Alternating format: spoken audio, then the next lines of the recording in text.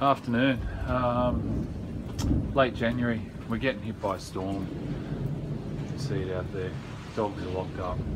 But we've just had a major fall of rain and it's been wind. So just thought a quick one to show what's happened just here. So that's either wind or rain or both.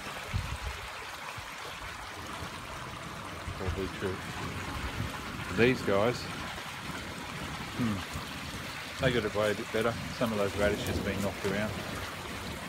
Uh, we're still plumbing this. There's well, that was empty uh, about 20 minutes ago. Storm lasted, you can see the water. So I'm just going to let that sit, I'll collect, it will evaporate.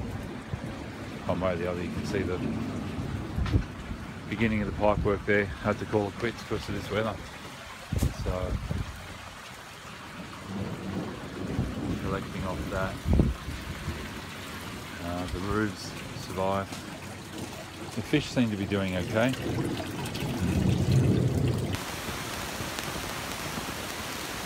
Okay, that's it.